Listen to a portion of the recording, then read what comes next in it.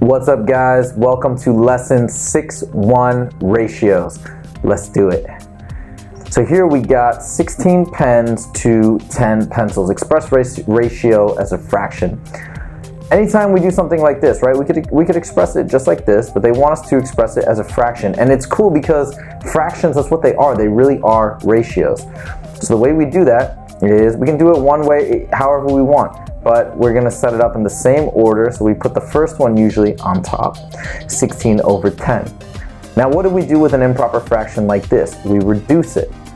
Same thing with a ratio.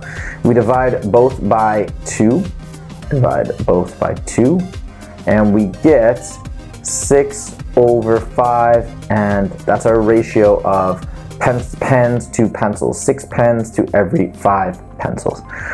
Next, on a full-size piano, there are 36 black keys and 52 white keys. Express the ratio of black keys to white keys as a fraction in simplest form and explain its meaning. So we'll talk about the meaning in a second. Again, we start off the same way, just like a fraction. 36 to 52. And how do we reduce this? We're gonna divide, again, both of these by two. Okay, divide both by two. Actually, we, we can divide both by four, uh, but we'll start with two. It doesn't matter. You can kind of go in any order you want. You'll still get to the same place. So that becomes 18 over 26. And we can see again, these are both divisible by two.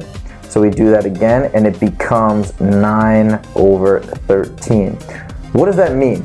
It means that, and this is simplest form now, it means that for every nine black keys on a piano, there will be 13 white keys. And then you'll have another nine black keys. There'll be another 13 white keys. So that's that's basically what it means.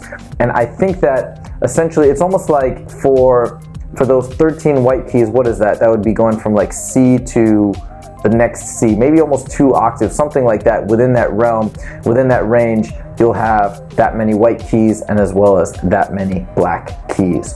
Okay, let's go to number 24. So number 24, a cell phone store displayed the phone at the right down here on a poster. The length of the phone on the poster is 3 feet 4 inches.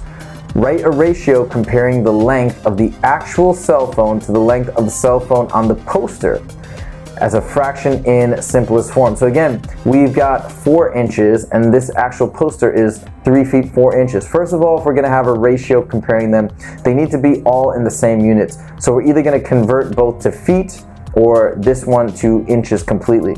Probably easier since this wasn't one is in inches to make this one in inches.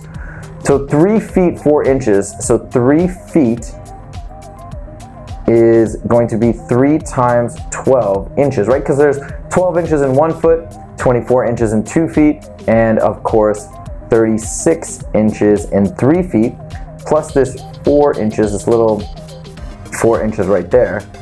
Guess what? We got 40 inches. That's the size of the poster.